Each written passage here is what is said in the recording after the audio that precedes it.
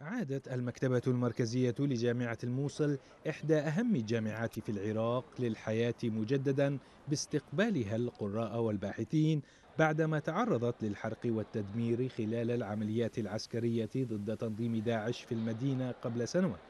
مكتبة عريقة آه، معروفة تأسست سنة عام 1967 ميلادية.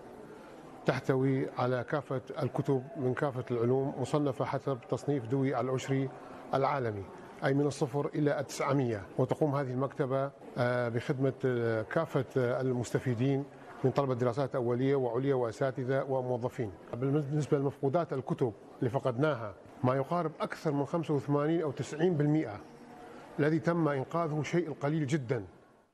وبالرغم من خساراتها الكبيرة إلا أن رفوف المكتبة المركزية لجامعة الموصل عادت وامتلأت من جديد بالكتب من شتى الأنواع تخدم فيها الباحثين عن العلم بجميع أشكاله. ما تحتويه الآن على كتب هي نتاج فكري لمبدعي جامعة الموصل والمجتمع بالإضافة للمكتبات الشخصية التي أهديت للمكتبة المركزية وأيضا بالإضافة للجهود المتطوعين من منظمات مجتمع دولي أو محلي.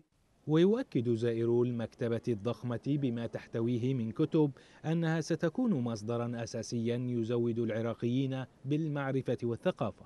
وأنا بالنسبة لي كطالب بجامعة الموصل بكلية التمريض أنا أحتاج هاي الكتب سواء ببحث الماجستير أو مثلا بحث الدكتوراه. بما أنه هي مكتبة مركزية أكيد إحنا راح نلاقي الكتب الموجودة سواء هي كتب دولية أو كتب دينية.